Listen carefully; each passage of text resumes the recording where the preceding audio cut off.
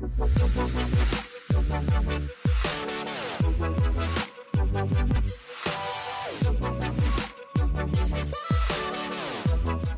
bah, prendre des stagiaires tous les ans à chaque CQP, du coup, bah, j'ai passé un entretien avec lui et l'entretien s'est bien concrétisé. Je voulais faire mon stage à Évreux parce que je suis d'Évreux et je sais euh, qu'il y a diverses choses faites pour l'écologie euh, à Évreux. Donc, euh.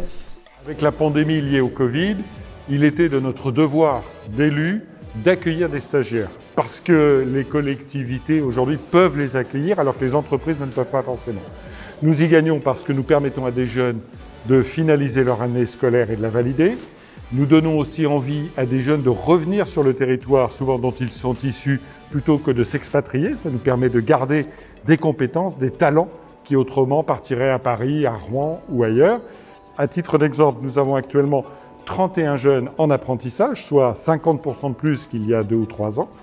Et nous avons accueilli en 2020 500 stagiaires. Nous en sommes d'ores et déjà sur le premier trimestre 2021 à 281 stagiaires. Nous allons doubler par rapport à 2020, qui était déjà une année importante par rapport à l'année précédente. Donc ça m'a permis justement d'être un peu plus polyvalent dans tous les actes de la communication et euh, j'espère obtenir euh, mon master euh, en juillet de, cette année.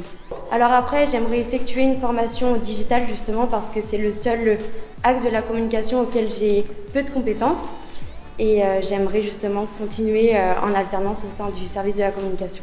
Choisi la ville parce que bah, l'année dernière en CAP j'ai eu l'occasion d'aller en entreprise privée. C'était l'occasion pour moi bah, d'essayer deux choses différentes.